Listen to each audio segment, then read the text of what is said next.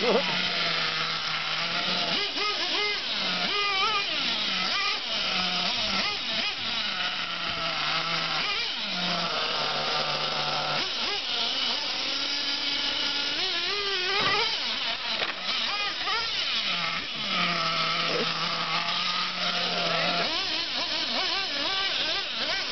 like a bumper's about to fall off from it. Yeah, looks like he sheared the other foot through.